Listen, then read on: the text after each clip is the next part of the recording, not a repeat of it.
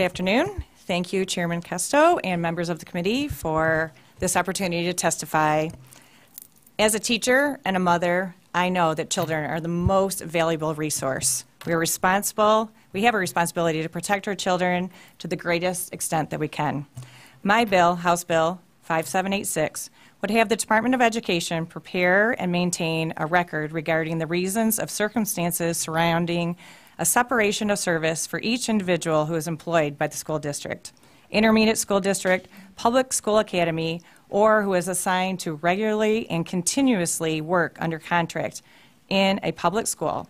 The individual may review the record prepared and maintained under the subsection.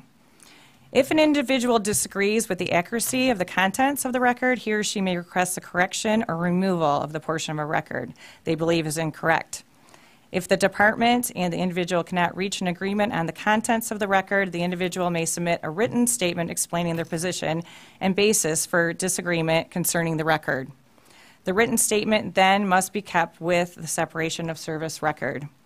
Having a consent, concise history of employment or reasons why someone's employment may have been terminated is another safeguard to ensure that those coming into contact with our children only have the best intentions for them. This record system will help prevent a teacher or any other employee from being able to operate as a repeat offender in multiple schools. I have been working on a sub with feedback we have gotten from various groups in the process and will continue to do so. I am committed to limiting the scope of this bill to only catch the bad actors, as well as keeping employment decisions at the local level.